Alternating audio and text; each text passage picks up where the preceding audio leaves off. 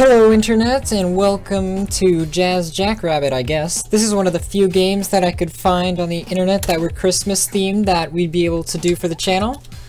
Uh, kind of an, uh, more obscure game, but it's actually kind of fun. I might do another one of these games later on for the channel because it's actually, uh, I played like the first level through and it's pretty fun actually. Except it does have problems because it was originally developed for DOS, Okay, well anyways, the music's really nice for this, because it's not like the weird um, Daze Before Christmas music. It actually is somewhat Christmas music.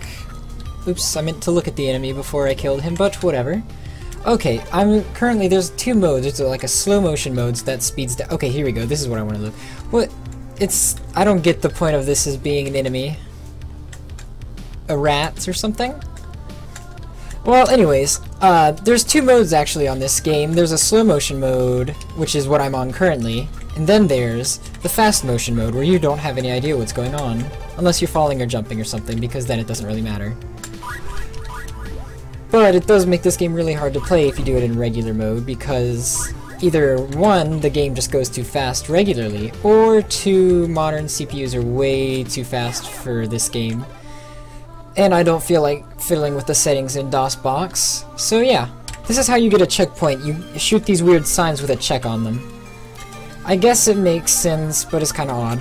Wait, does that say Epic MegaGames? Is that the company that makes this? Did they advertise themselves on, like, candy bars on their game? That's kinda odd. Not something I've seen done before. At least not candy bars. where you can't see the whole, um, name of the company. It's kind of odd. Okay. I don't know what this level is. All I can tell is it has some Christmas-themed items. I don't know what the ground or walls or whatever this these are made of. Has Hershey's Kisses, lollipops, and a bunch of guns. And candy bars that say Epic MegaGames on them. At least that's what I'm pretty sure they say. It's an, it's odd for a Christmas theme. I mean, but it's actually not bad. It's definitely better than that last game I played. That wasn't very fun. Although it did take a little bit more work to get set up because I had to go through a setup thing because it was a computer game, but the only option, strangely, that I had to mess with in there was for sound cards. And I had to go through each sound card individually to see what actually worked, and two or three of them worked, but this one sounds the best because I had some error getting it. It just wouldn't start when I set it to certain sound cards, which was really odd. But at least since it works now, I'm pretty happy. Also, these springs are stolen straight out of Sonic, I'm pretty sure. Okay, I couldn't read that because it was too fast. And it set me off of, um, uh, slow motion mode. See how fast this is? You can't play it this fast. Ow. Okay, back to slow motion mode it is.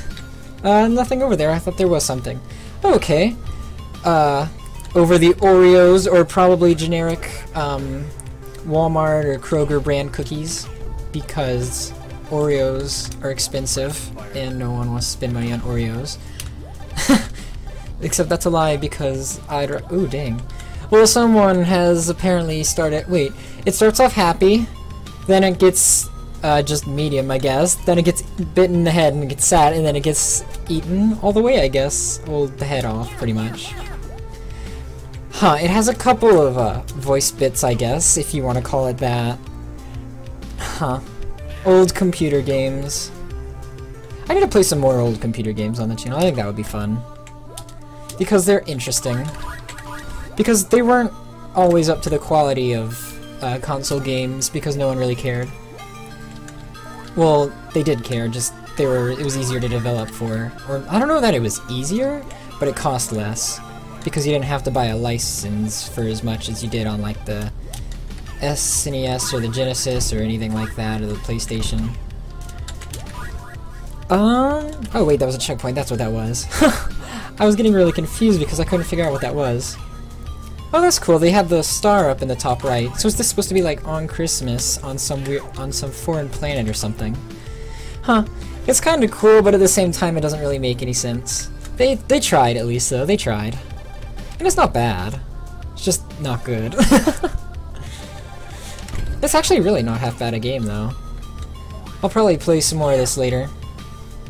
I guess the carrots are the health pickup then. I guess it makes sense, because it's a rabbit. I was trying to think of another game's health pickup, but... Oh, I was trying to think of either Mario or Sonic's, but then I realized they didn't have health pickups because they just did like the power-up thing to do more health. Huh. Hmm. No, I'm, I'm thinking of something else. Never mind. I was gonna say I couldn't figure out what the first game to have um, health like that was, but then I realized it was obviously, uh, Actually, I really don't know what it was, but it definitely wasn't this. Oh, did I die? Okay, I thought I died since it made me, like, kind of float in the air a bit. Okay. Just gotta blast through all these weird red rat mice things that are for some reason the enemies. You'd think at least since they made everything else Christmas themed that they could do something Christmas themed for that, but I guess not. Doesn't have to. You can just make the enemies regular, I guess. Be no fun. okay. I've never actually gotten past this level, or I might have, but I don't remember what was past it if I did. I have to go really slow because if you can see in the bottom left, that's where the health is, which I just picked up more of. And I had no health after I got hit another time. Oh, they have a, a oops, I pressed down. Didn't expect that to happen. Okay, but there's like a gap right there, that's kind of odd. It's kind of broken level, I guess. Doesn't really matter. Okay, there we go, I beat this level. I don't know what's after this one. Let's see if it has Christmas music or not. Because I don't know if it's going to. Oh, gotta press T because it's really slow if I don't. Loading... what level did it say? Bloxonius. Oh yeah, I remember this. It's like a Lego level. Or probably Mega Bloks. okay, nope, doesn't sound like Christmas music. I don't think. Oh no, it is Christmas music. That's pretty cool. Better than the um, Daze Before Christmas thing. I tried uh, shooting those things because it reminded me of the the whole Kool-Aid Man walls in um, Daze Before Christmas. That's what it looked like, at least to me. But I guess that's not what it is. Also, I was messing around with this, and you can shoot the Lego men's head off. At least I think they're Lego. Can't really tell. But that's what they look like to me. Ow. What? Didn't expect that to be an enemy. I thought it was just kind of a stage thing. Gonna destroy the Lego men head. And there's an Energizer bunny that says Epic on it so it's not quite an Energizer Bunny, I guess. But it's close enough, because everyone's gonna recognize what that is. Okay, down whatever's here. Is the ball an enemy? No, it's not. Okay, good. Oh no, it's one of the dolls. That's such an odd enemy. Because you're not gonna... I didn't expect it to be the enemy. I thought it was just kind of a stage thing, like the Lego Men. But no, it's an enemy. Okay. Ow. Oh, and this is, I'll show you before we finish, but this is one of the few old games where, like, I guess it must have been a common thing among computer games or something. But you can actually order stuff, you can, like, order more parts of the game or something from within the game. And they ship, they shipped it with, um, ordering information in the, uh, program files. Because I have a thing that has order forms for the UK, um, Australia, I'm not sure if I have one actually for America, which is kind of odd. How do I get up there? There must be a way up there because that's the end over there. huh. Haven't actually gotten this far, so not sure where to go. Hmm, I guess I'll just keep going down. What the? Huh. Is that an enemy? No? Well, it hit something. Maybe if I just keep shooting it. No? Okay. Just keep going then. Oh, yep, here's the checkpoint, so I guess I wasn't there yet. Got stabbed by some pins.